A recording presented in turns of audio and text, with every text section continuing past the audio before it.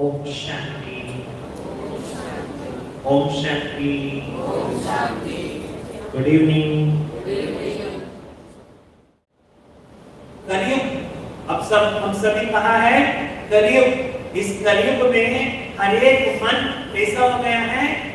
Week battery discharge इसलिए हमको आपस में एक सुख, शांति, आनंद खुशी, उस जीवन को जीना है तो हम पहले एक दूसरे को समझने का प्रयास करना है। हम सब कौन हैं?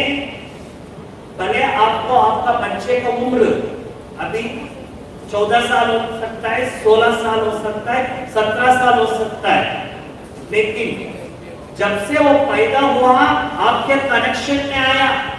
उसके पहले आप कौन थे, वो कौन थे? एक बार सोचो। हम कहते हैं, मेरा बच्चा मेरा बात मानना है ये कैसा हो सकता है। देखो, आपको मैं एक एग्जांपल दिखाता हूँ। हर एक मनुष्य में कैसे संस्कार होता है? संस्कार मतलब एक तरह की रिकॉर्ड फ़ाइल सीडी समझो। जैसे आप देखते हैं कंप्यूटर में या मोबाइल में फाइल्स होता है सॉफ्टवेयर होता है। वैसे ही हर एक मनुष्य में इस शरीर के साथ एक आत्मा होता है। वो आत्मा को हम अपनी भाषा में क्या बोलते हैं? एनर्जी बोलते हैं रूह बोलते हैं, और चैतन्य शक्ति बोलते हैं सोल बोलते हैं, कुछ भी बोलते हैं। उस आत्मा में एक संस्कार जो होता है, वो पाँच प्रकार का होता है। वो समझिए सभी। पहला संस्कार पास्ट संस्कार। पास्ट संस्कार मतलब क्या है? पूर्व जन्म का संस्कार लेके आते हैं?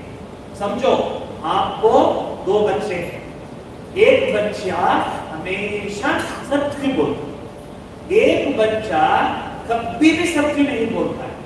आपको उसको समझाना है, लेकिन आप समझाते नहीं जानते लेकिन वो बच्चे को, वो सत्य बोलने का संस्कार एक में है, एक में झूठ बोलने का संस्कार है। आप क्या समझते हैं कि मेरा बच्चा है, ये तो सच बोलना है, झूठ क्यों बोलता है? लेकिन आपको ये पता नहीं, वो बच्चा अभी आपके जीवन में आया है। आपके पहले की कहा थे वो? आपके जीवन में आने के पहले कहा थे वो? पूर्व जन्म में। किसी ना किसी के संबंध में था, वहाँ एक फ़ाइल क्रिएट होता है, एक रिकॉर्ड क्रिएट होता है जो झूठ बोलने का। जैसे आप यहाँ कानपुर में, आपके घर में कंप्यूटर में कुछ सीडी में रिकॉर्ड किया। ये सीडी लेकर के आप कोई दूसरी जगह पे गया, राजस्थान में गया, वहाँ एक कंप्यूटर में डाला, स्थान बदला, और कंप्यूटर बदला। सीडी में जो है, वो बदलता है क्या? वो बदलता है क्या? मनुष्य के शरीर भी वैसा है। इधर अंदर आत्मा जो है, सोल, वो संस्कार को कैरी करता है। संस्कार को कैरी करता है।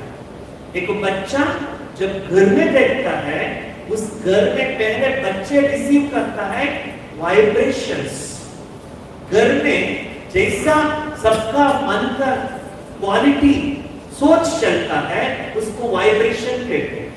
वो वाइब्रेशन किस पर असर पड़ता है? पानी पर पड़ता है, भोजन पर पड़ता है, बच्चों पर पड़ता है, और चार दीवारों पर पड़ता है।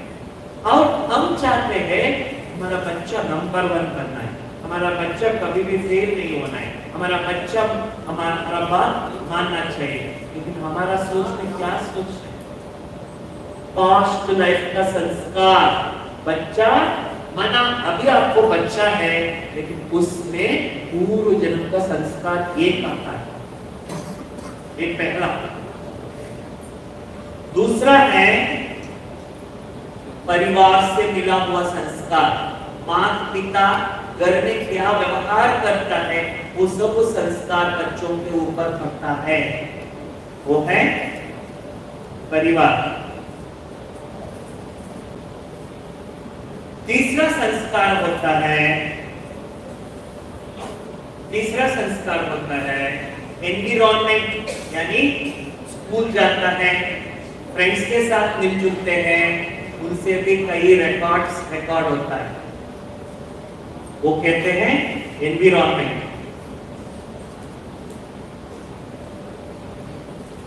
और चौथा होता है, बच्चे को अच्छा एक मन का शक्ति मिला एक अच्छी तरह प्रेरणा मिला वो खुद बदलने के लिए ट्राई करता है, वो है विल पावर, मनोबल।